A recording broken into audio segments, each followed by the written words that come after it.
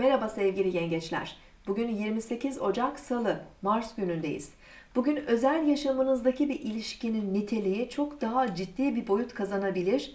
Ee, önceden beklediğiniz bir teklifi bugün alabilirsiniz.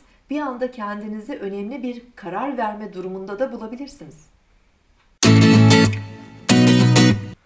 Burcunuzu dinlediniz. Bugün 28 Ocak Salı, Mars günündeyiz.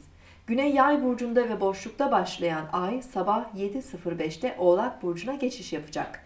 İyimser ve rahat enerjiler yerini daha ciddi ve kararlı enerjilere bırakacak. Ay Oğlak burcundayken sorumluluklarımız, görevlerimiz, hayatımızdaki otorite kavramları, aile büyükleri ve geleceğe yönelik kariyer hedeflerimiz biraz daha öne çıkabilir.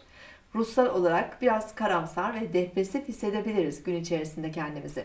Akşam saatlerinde Ay Koç burcundaki Uranüs'le kare açı yapacak.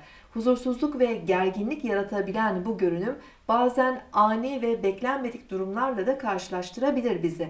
İlişkilerimizde dikkatli olmalı, riskli hareketler yapmamalıyız. Yarın tekrar görüşmek üzere. Hoşçakalın.